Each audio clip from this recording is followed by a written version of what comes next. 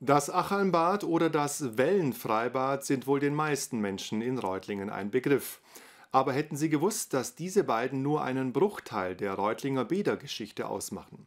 Denn in dieser spielen insgesamt mehr als 20 Bäder eine Rolle. 17 von ihnen sind ab morgen Teil einer Bäderausstellung, die es im Heimatmuseum zu sehen gibt. Und dafür ist ein Teil des Heimatmuseums selbst zu einem Bad geworden. Ein Bad, in dem man zwar nicht schwimmen kann, aber dafür einen Einblick in die Reutlinger Bädergeschichte bekommt. Die Idee für die Ausstellung Eintauchen, Auftauchen war bereits 2021 aufgekommen, kurz nachdem man sich mit der allgemeinen Freizeitgeschichte der Stadt beschäftigt hatte. Eine Kollegin wusste dann, dass äh, das Arbachbad für viele Reutlinger ein wichtiger Ort gewesen ist.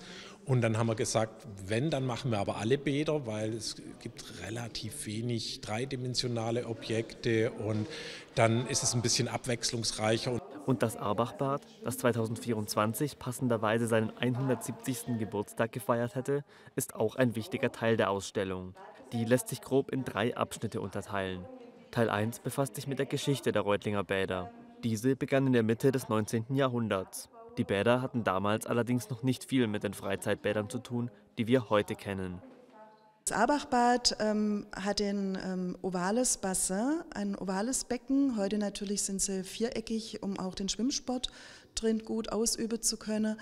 Ähm, es gab ein ähm, Badehäuschen, also eine kleine Umkleidemöglichkeit. Ähm, natürlich noch keinerlei technische Wasserreinigung.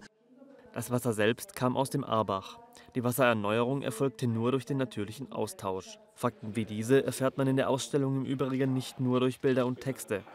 Der zweite Teil sind dann Menschen, die mit den Bädern zu tun haben, sei es beruflich oder auch als Besucher der Bäder. Da hat äh, der Kollege Interviews geführt mit einigen Leuten, die da eben eine Beziehung dazu haben.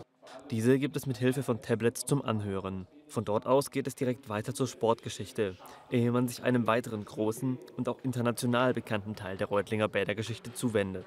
Daran beteiligt war vor allem ein Hersteller.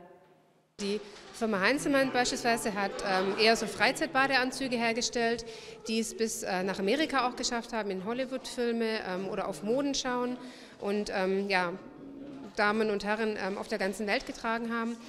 Experimentiert wurde hierbei vor allem mit Farben und Formen, um alle Geschmäcker zu treffen. Im Sportbereich schafften es einige Badeanzüge aus Reutlingen sogar bis zu den Olympischen Spielen. Zu sehen gibt es das alles offiziell von morgen bis zum 1. April 2024. Die genauen Öffnungszeiten und weitere Infos gibt es online unter www.reutlingen.de/heimatmuseum.